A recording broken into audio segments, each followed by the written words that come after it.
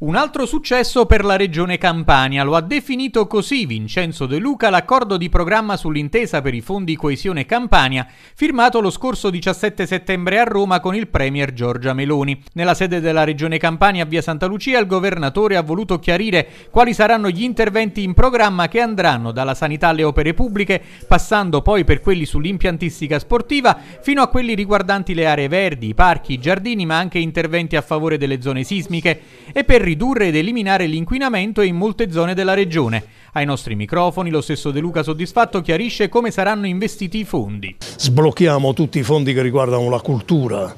lo spettacolo, i fondi che riguardano l'ambiente e il territorio, i sistemi idrici e i problemi ambientali. Sblocchiamo i fondi per la viabilità che riguardano tutti i comuni della regione e i fondi per l'assetto idrogeologico, i fondi relativi alle famiglie,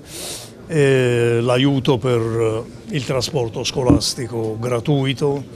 firmiamo a breve l'accordo la legge per le famiglie, eh, bonus per lo sport, scuola viva,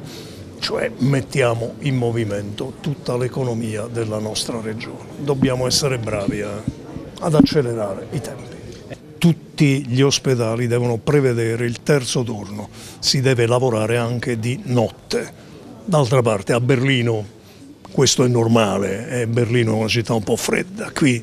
tutto sommato tranne un po' gennaio quando capita, ma con il cambiamento climatico arriveremo a farci i bagni pure a gennaio, si può lavorare tranquillamente quando ovviamente sono cantieri non in area densamente abitata.